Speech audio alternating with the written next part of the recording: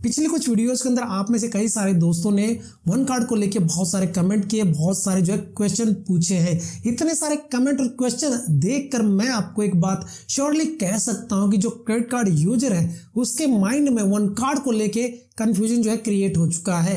एक साइड कुछ credit card user ये मानते हैं कि वन कार्ड जो है सबसे बेस्ट क्रेडिट कार्ड है, वहीं पर दूसरी तरफ़ कुछ क्रेडिट कार्ड यूज़र ये मानते हैं कि वन कार्ड जो है बेकार क्रेडिट कार्ड है। लेकिन जब यूट्यूब के ऊपर मैं रिव्यूज़ को देखता हूँ तो वहाँ पर मैं ये पाता हूँ कि आपको वन कार्ड के बारे में सही से डिटेल नहीं बताई जाती है। इन रिव्यूज़ के अंदर आपको कहीं पर तो ये भी बताया जाता है कि ये जो कार्ड है, एक buy now pay later service है। वन कार्ड जो है प्योर क्रेडिट कार्ड अब मुझे ये समझ में नहीं आता यूट्यूब के ऊपर जो वीडियो डाली गई है, उनमें लोग आपको जो है वन कार्ड के बारे में सच क्यों नहीं बताते हैं? आज इस वीडियो में आपके साथ शेयर करने वाला हूँ। वन कार्ड से जुड़ी हुई दस अच्छी बातें और दस बुरी बातें, ताकि अगर आप इस क्रेडिट कार्ड को अप्लाई करने की सोच रहे तो फिर इन पॉइंट्स को आप जो है कंसिडर कर सकते हो। और वीडियो के एंड में मैं आपको ये भी बताने वाला हूँ कि वन कार्ड किन के लिए बेस्ट है, किन लोगों को ये क्रेडिट कार्ड जो है अप्लाई करना चाहिए, किन को जो है अप्लाई नहीं करना चाहिए। दस जो गुड थिंग है इस क्रेडिट कार्ड के बारे में उनकी बात कर लेते हैं। सबसे पहला पॉइंट तो इस क्रेडिट कार्ड का ये है कि ये जो है बिना किसी ज्वाइनिंग फ़ीस के आता है, बिना किसी एनुअल फ़ीस के आता है, यानी ये क्रेडिट कार्ड आपका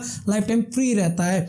दूसरा पॉइंट इसका ये है कि दोस्तों ये आपको सिक्योर अनसिक्योर दोनों बेस में मिलता है। अगर सिक्योर क्रेडिट कार्ड की बात करें तो यहाँ पर आपको मात्र दो हज़ार रुपए की एफडी पे ये कार्ड मिल जाता है। और तीसरे पॉइंट की बात करें तो दोस्तों वन कार्ड को यूज़ कर आप अपना सिविल स्कोर जो है बिल्ड कर सकते हैं। यहाँ पर आप जो भी एफडी करवाते हैं, उसके ऊपर आपको सिक्स पॉइंट सिक्स परसेंट जो रेट ऑफ़ इंटरेस्ट मिलता है। वहीं दूसरी तरफ़ आप जो भी एफडी अमाउंट यहाँ पर करवाते हो, उसका आपको 110 परसेंट क्रेडिट लिमिट दी जाती है आपके क्रेडिट कार्ड पे। दोस्तों, इस क्रेडिट कार्ड का जो मोबाइल एप्लीकेशन है, उसका इंटरफेस बहुत ही अच्छा है।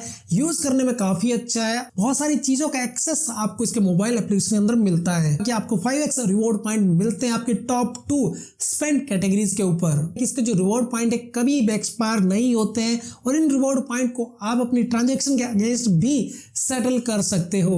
अगर आप इस क्रेडिट कार्ड को यूज़ कर कर कोई भी ट्रांजेक्शन कर लेते हैं और उस ट्रांजेक्शन को आप ईएमआई e में कन्वर्ट करवा लेते हैं, तब भी आपको उस ट्रांजेक्शन के ऊपर जो रिवॉर्ड पॉइंट मिलेंगे। और दोस्तों, अब जो पॉइंट मैं आपके साथ शेयर करने वाला हूँ यूट्यूब के ऊपर ये पॉइंट अब तक किसी ने भी शेयर नहीं किया है। अगर आपके पास वन कार्ड है तो आप अपनी फैमिली मेंबर के साथ अपनी लिमिट शेयर कर सकते हो एड ऑन क्रेडिट कार्ड उनको दे सकते हो। लेकिन यहाँ पर आपको एक अच्छा बेनिफिट ये मिलता है कि आप अपने मोबाइल में इस पूरी लिमिट को जो कंट्रोल कर पाओगे, साथ में आपके मोबाइल के अंदर अलग ऑफर्स दिखेंगे और जो आपका एडिशनल क्रेडिट कार्ड होगा अपनी फैमिली मेंबर के लिए, उसके मोबाइल एप्लीकेशन उसके लिए सेपरेट ऑफ़र वहाँ पर दिखाई देंगे। और दोस्तों लास्ट गुड पॉइंट की बात करें तो ये क्रेडिट कार्ड आपको जो है मेटल फॉर्म में भी मिलता है। वीडियो के इस पार्ट में मैं आप सभी के साथ शेयर करने वाला हूँ ten bad points about one card और इसके बाद मैं आप सभी के साथ ये शेयर करूँगा कि किन लोगों को ये जो वन कार्ड है वो लेना चाहिए, किन लोगों को नहीं लेना चाहिए। सबसे पहले बेड पॉइंट की बात करें तो दोस्तों, यहाँ पर मैं आपको ये बताना चाहूँगा कि वन कार्ड जो है कोई भी बैंक नहीं है। वन कार्ड का अलग अलग बैंकों के साथ टाई अप है और वन कार्ड आपको ये जो क्रेडिट कार्ड है, दो टाइप से देता है। एक सिक्योर क्रेडिट कार्ड देता है, दूसरा अनसिक्योर क्रेडिट कार्ड देता है। जो सिक्योर क्रेडिट कार्ड है, वो आपको ये जो है एस बैंक के साथ मिलकर देता है। यहाँ पर मैं आपको बताना चाहूँगा कि मैक्सिमम लोगों को वन कार्ड की तरफ़ से सिक्योर ही क्रेडिट कार्ड मिलता है। साइट के ऊपर ये दिखाया गया है कि वन कार्ड की तरफ़ से आपको जब मेटल क्रेडिट कार्ड मिलेगा, बहुत सारे क्रेडिट कार्ड यूज़र इस मेटल वाले क्रेडिट कार्ड को देखकर क्रेडिट कार्ड जो है कार्ड में अप्लाई कर देते हैं, जब उनको क्रेडिट कार्ड मिलता है तो प्लास्टिक का मिलता है।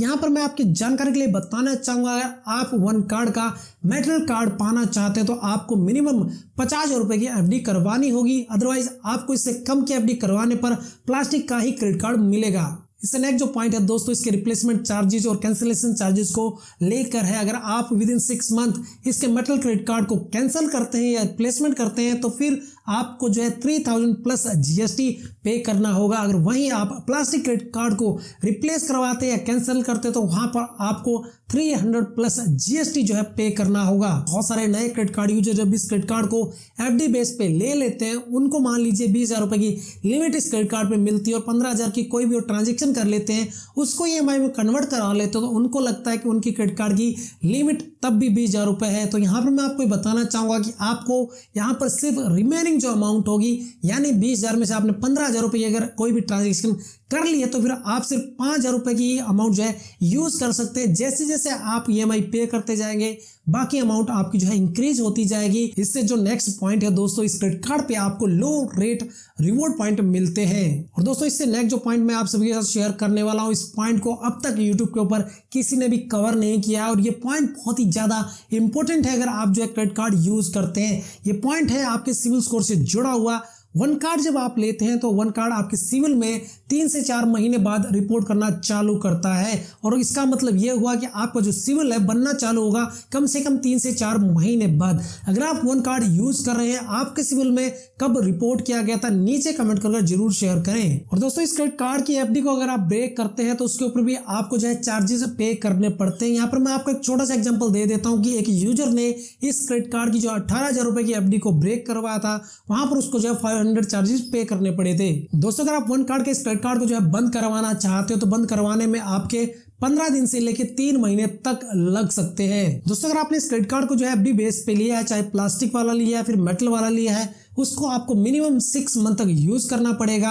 अदरवाइज़ अगर आप सिक्स मंथ से पहले इसको क्लोज करवाते हो तो फिर आपको जो है चार्जेस बहुत ज़्यादा पे करने पड़ेंगे। और दोस्तों, इससे नेक्स्ट जो बेड पॉइंट इस क्रेडिट कार्ड का ये है कि वन कार्ड आपको जो है दो फॉर्म में देखने को मिलता है। पहला प्लास्टिक कार्ड में मिलता है, दूसरा मेटल कार्ड में मिलता है। मेटल वाला आपको सिर्फ़ मिलेगा मिनिमम पचास हज़ार रुपए की एफडी करवाने पे।